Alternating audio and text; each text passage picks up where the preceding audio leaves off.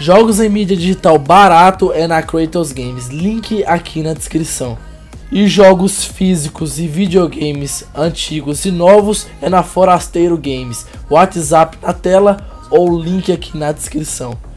Personalize seu console comprando uma skin na Pop Art Skins, link na descrição.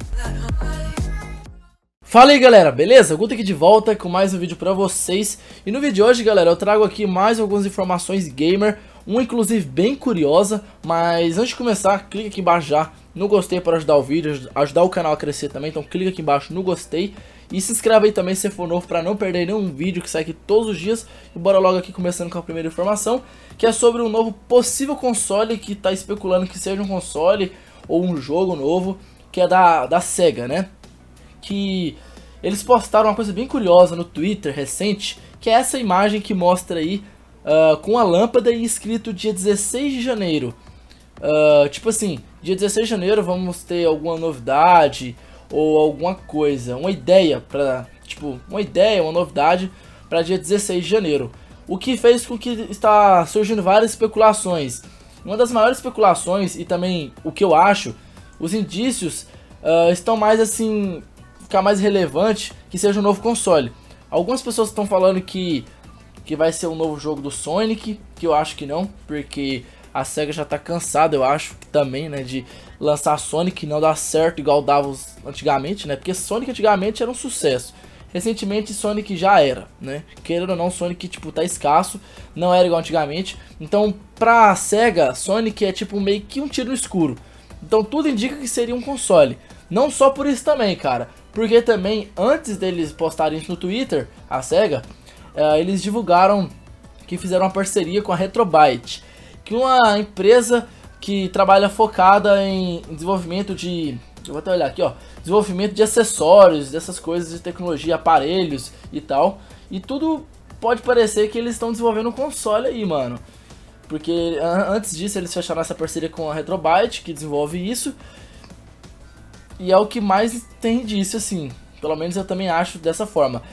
Uh, e o console que pode ser também, galera, talvez que seja, pode ser, sei lá, um Dreamcast novo, né? Dreamcast é um console já famoso da SEGA. E agora poderia ser um novo Dreamcast.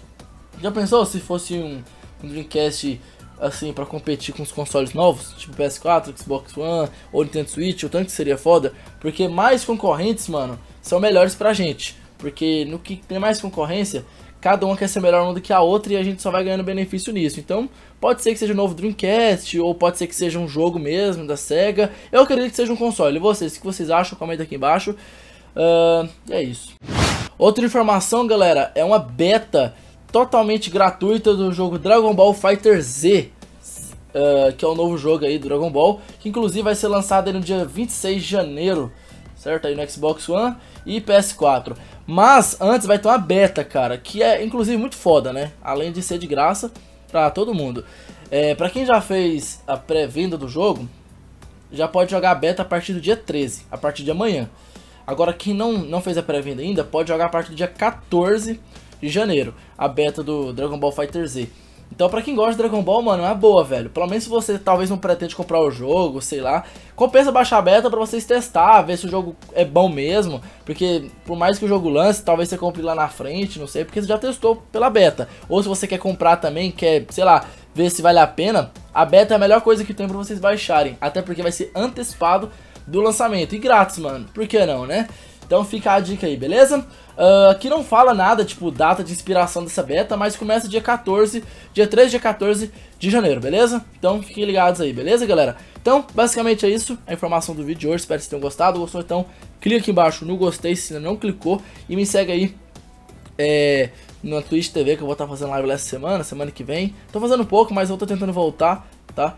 E Twitter tô voltando a usar, segue lá também, Instagram tá aí embaixo. E é isso, galera, valeu, falou e fui!